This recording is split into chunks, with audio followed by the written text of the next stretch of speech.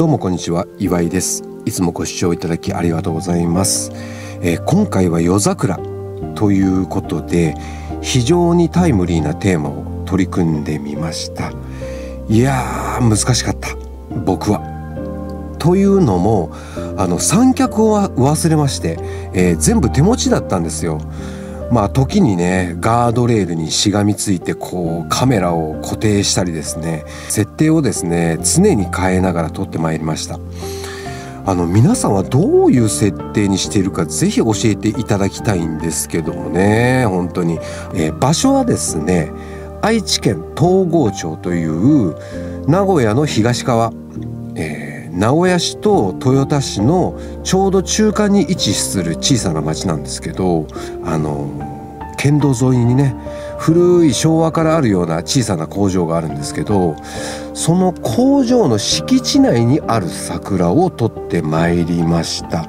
僕はここが好きで毎年ここを通るたびに車でね通るんですけどもあのちょっとスピードを落としてこう癒されて帰ってくるんですがまああの作例の方をね見ていただきたいと思っております。ちなみに、えー、深夜2時です。深夜2時ということでねもうあんまり時間もかけれないですしあの賞味3 4 0分の間だったんですけども撮ってまいりました、作例の方を、ご覧いただきたいと思っております、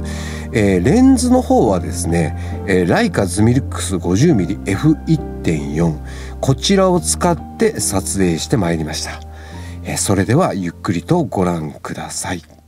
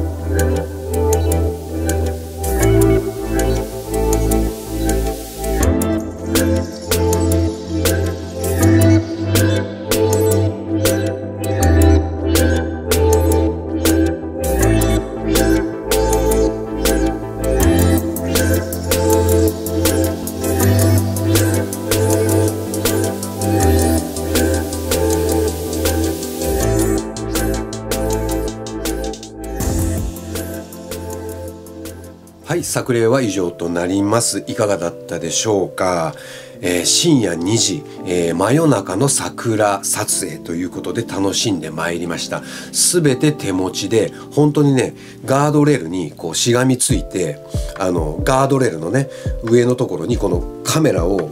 がっちり固定してこうブレないように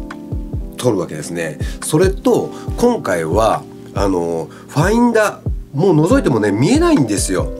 あの中にねあのピントを合わせるあの二重像があるんですけどそれがね小さくてしかも薄いのであのもう全然役に立ちませんでした。なのでピーキング機能を使いました。このね背面の液晶モニターを使ってピーキングという機能を使って、えー、撮影しました、えー、まあ、余談なんですけども仲の悪い夫婦をねいつもあの喧嘩ばっかりしてる夫婦を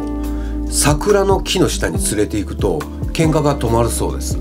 あのこれは30年ぐらい前にあの武田鉄矢さんのラジオが僕好きでよく聞いていてその武田さんがねおっしゃってました。